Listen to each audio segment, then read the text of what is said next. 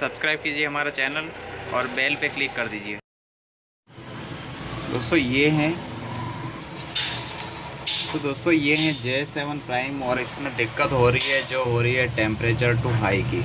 मैं अभी आपको चार्जर लगा के बता देता हूँ।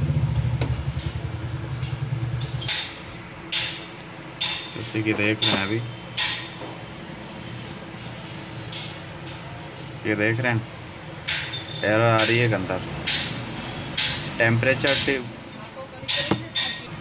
तो दोस्तों, इसमें जो दिक्कत हो रही है, वो हो रही है अभी टेम्परेचर टू हाई की इसलिए क्या, ना तो चार्ज हो रहा है, इसको फ़ोन करेंगे तो फ़ोन ऑटोमेटिकली बंद होने के लिए बोलेगा। ओके करेंगे तो बंद हो जाएगा, फिर ओवर हीटिंग का लिए बोलेगा। और फिर सेट बंद हो जाएगा वापस से।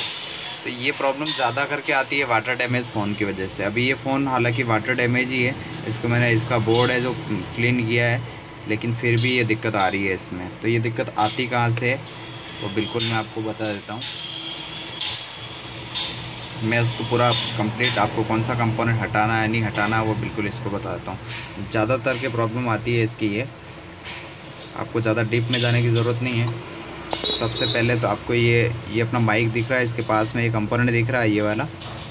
इसको रिमूव करके देखना है। रिमूव मतलब हॉटगन से करेंगे तो ज़्यादा बेहतर रहेगा, नहीं तो आपके नीचे के प्रिंट ख़राब हो जाएगी, हो सके आप नया लगा रहे हो तो वो भी आपके लग नहीं पाएगा। ठीक है तो इसको एक बार लगाने की ज़रूरत नहीं है, आप इसको हटा दीजिए एक बार तो। ठीक है ना? तो मैं इसको एक बार हटा देता हूँ, उसके बाद नहीं होता तो मैं आपको दूसरा तरीका बताता हूँ इसमें। जैसे कि दोस्तों, मैंने इसको हटा दिया, आप देख रहे हैं, वो जो ब्लैक कंपोनेंट रहता है, इसको मैंने यहाँ से यहाँ से रिमूव कर दिया। ये क्या वाटर डैमेज की वजह से ये जो कंपोनेंट है, इसको आप आप चेंज भी कर सकते हैं। और नी लगाएँगे तो भी काम चल जाएगा, कोई ऐसी दिक्कत नहीं है। ठीक है ना, आप देख रहे हैं, ये थोड़ा क्या है, यहाँ पे कंपोनेंट ख़राब हो जाए मैंने इसको अभी हॉटगन से भी रिमूव कर दिया है। तो ये बिल्कुल चार्ज होने लग गया, अभी मैंने इसको चार्ज में लगाया है फ़ोन को, आपको मैं दिखाता हूँ।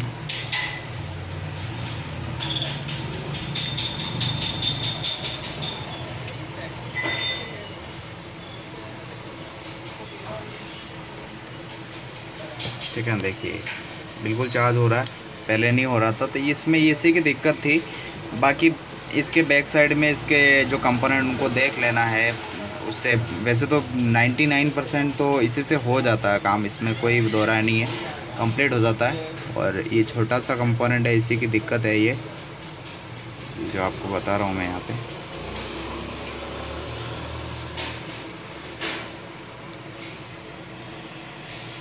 ये छोटा सा कंपोनेंट है। ये इसी की दिक्कत है ये।